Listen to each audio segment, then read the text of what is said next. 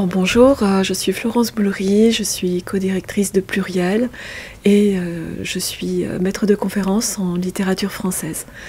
Je fais des recherches sur la littérature française du XVIIIe siècle et du début du XIXe siècle.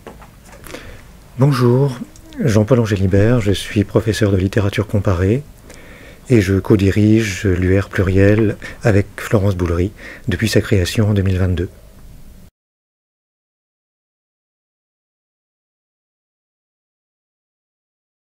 L'UR Pluriel a été créé en 2022 à l'issue de la restructuration de deux anciennes équipes d'accueil, euh, Clare et Telem, pour regrouper les enseignants-chercheurs de ces deux unités après l'autonomisation d'Artes.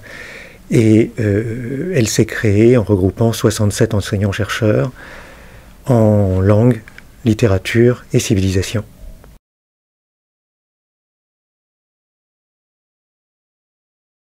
Alors comme nous travaillons beaucoup sur les transmissions euh, interculturelles, en quelque sorte. Euh, nous euh, avons euh, plusieurs thèmes qui se rattachent à ces questions.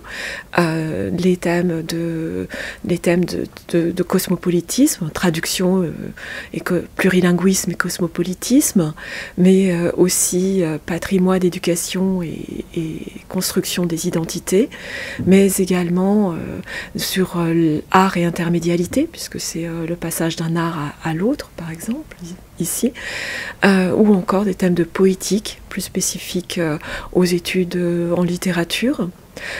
et un thème sur les genres, genre en question, donc sur, sur tout ce qui est le féminin, mais aussi les autres genres, tout, tout, ce qui est définition de, de soi par rapport au genre.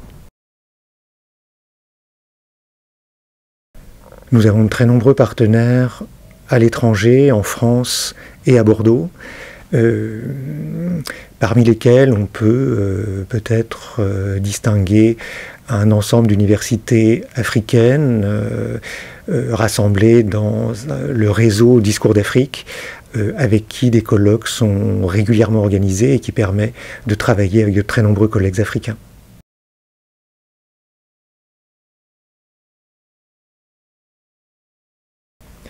Alors nous avons euh, un gros projet qui a été porté euh, par euh, Violaine Giacomotto qui s'appelle Humana, les humanités en Aquitaine, et qui est un projet destiné à, renforcer cette connaissance de l'humanisme aquitain et avec un projet de médiation, euh, médiation scientifique euh, liée euh, vers la, société, puisqu'il s'agit de faire connaître ces, humanistes aquitains et aussi de renouveler le vivier de chercheurs, de jeunes chercheurs, tout en allant vers la société, la société en dehors de l'université autour de ce projet.